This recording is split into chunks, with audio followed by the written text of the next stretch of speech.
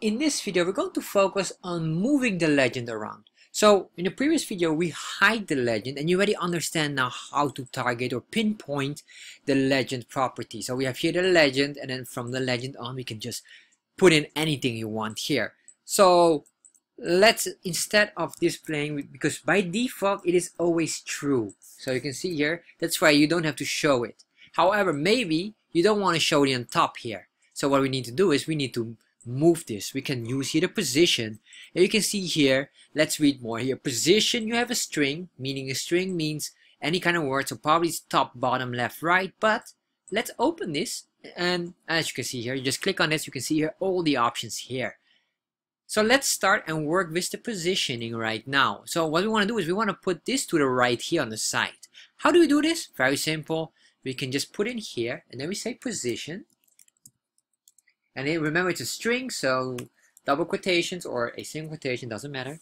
And then we say here, right. Let's save this and then let's see what happens. Now we have here our right positioning. And this is really how it works.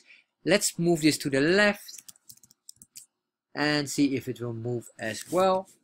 You can see here, this is really how it works. And you will notice that a legend becomes really important once you have more than one value. However, we can quickly make one.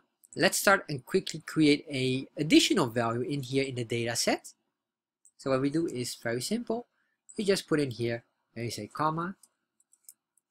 And let's paste in these values here just to create a quick new data set in here.